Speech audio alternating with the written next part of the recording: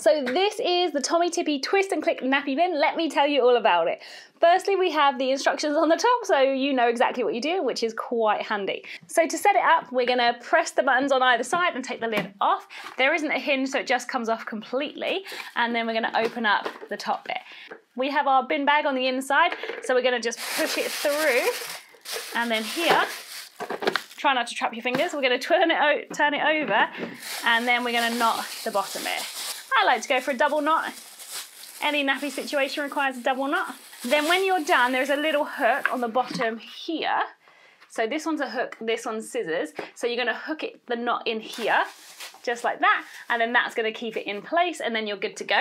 So the lid only goes one way round, so make sure the lid is the correct way round. We're then gonna make sure the tabs are on the inside and then we're gonna click it down and hopefully it's in place and we are ready to go.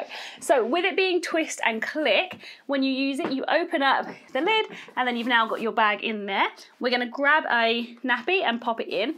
So from there, we're gonna use this little bit here to twist it. So we're gonna twist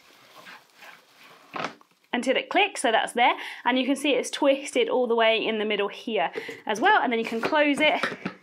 When you filled the bin up, there's a bit of resistance, so you know you're kind of coming towards the end, or you run out of the plastic on the inside, so we're gonna change it.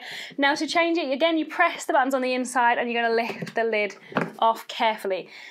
This bit is where it stinks. I'm not gonna lie. When the lid is closed, it smells like 2 out of 10. When you take this off, try not to breathe if you can. Oh my goodness, it smells disgusting. There's no keeping the smells in here, but anywho, I digress. So to take it off, we're then gonna lift up here. Obviously you'd have more nappies in there than this, but I have just changed this one. So we pull the nappy through and you can see here that this is where it's twisted through and there would be quite a lot of nappies in there. So we're gonna take this bit over the little scissor bit, we're gonna push it down and cut it down and then it can come off there. So here then we need to do up our nappy bin again. And now you can see I had a twist in it before, but the twist comes out. Then we can do up the second knot here, and then we are good to go again. And that is the basic function of this bin. There are some heavy cons here, so let's do pros. Pros for this one, I like the fact that it's got a little handle on the back here so that you can lift it up and kind of move it around to wherever you need to to be able to change it. So I like that that is a function. Let's do cons. So cons of this one, it smells a little bit when you open the lid, but it smells so much when you change it. It's really surprising because the twists I think keep the smelling quite a lot, but then as soon as you take it out, it untwists and untwists and untwists and untwists. So you lose a lot of the bin liner as well as it's smelling. So that was quite that was quite a surprise.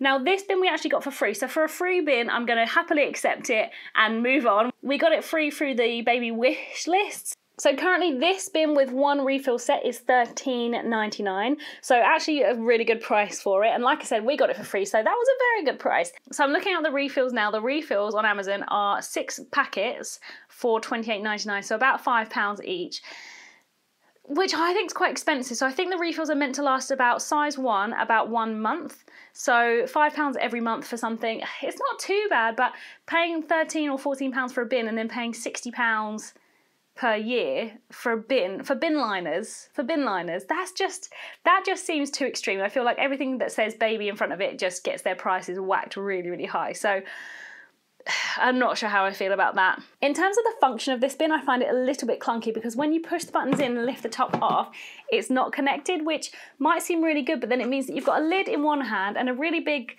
like nappy poo snake in the other hand and it's really hard to sort of wrestle the two so you have to put like the nappies down on the floor and then pull this through and then cut it off and then tie up the nappies on the floor and then tie up this one and then put it back. So it's just a little bit more faffy than I feel like it should be. And I always forget to loop this bit on but that is definitely user error. The other thing that's a bit strange is that the bits that you've twisted all untwist as you take them out. So I feel like I'm playing a game, racing against the clock of pulling the nappies out and watching them slowly untwist, like mocking me because they know the smell's gonna come out. So you're there like trying to wrestle it and tie it up really, really quickly and it's just, uh, it's not the experience that I'd expect from a nappy bin.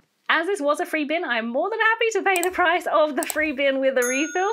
This is the one that we're going to use at work, so it's going to stay at work, so I'm still going to use it. I just think for a nappy bin, you don't want to smell any nappies after the fact, and especially when you're changing them. If you want to give it a go, you can probably still get it for free on your baby wish list on Amazon if there's nothing else that you want. So you might as well get it, try it, see if you like it, and if you don't like it, you can get something else because you haven't paid any money. And if you like it, then great. And all you need to do is buy your refills every so often. I think once again I've told you all there is to know about this bin. It's wipe clean, it smells a little bit, and uh, it's a bin. So I will see you in another video soon.